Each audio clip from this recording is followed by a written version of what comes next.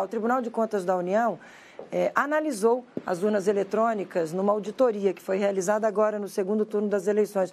E o Tribunal de Contas da União não encontrou irregularidades nas urnas. Isso é destaque no nosso portal de notícias líder de audiência UND+, por isso é assunto para o Lucas Leal. Oi, Luquinhas, muito bom dia para você.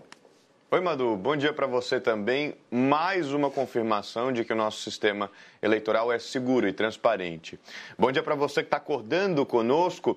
Essa, averigua... Essa averiguação e esses testes são realizados em parceria com o Tribunal Superior Eleitoral. A parte do Tribunal de Contas da União é manter a transparência desse sistema de votação. Vale a gente lembrar que há meses atrás o Tribunal de Contas já realizou uma auditoria e também chegou na conclusão de que o nosso sistema é confiável.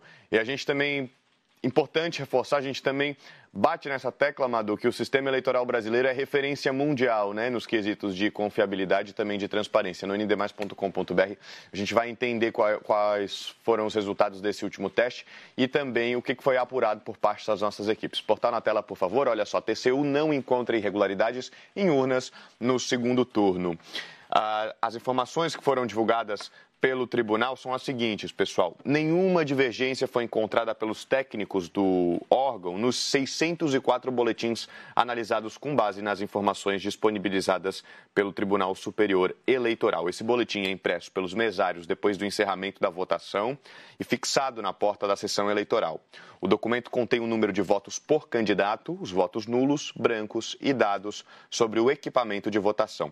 O relatório com as informações consolidadas vai ser anexado ao processo processo que trata da auditoria das eleições, iniciada em 2021 em conjunto com a Justiça Eleitoral. O resultado final está previsto para o início de 2023. Em julho, antes das eleições, o TCU concluiu que o sistema eletrônico de votação no Brasil é seguro e que não havia riscos relevantes para a realização do pleito. Volto a reforçar, em julho desse ano, gente, de acordo com o TCU, a atuação no trabalho de auditoria das urnas tem o objetivo de garantir a confiabilidade dessas informações públicas que são repassadas à sociedade.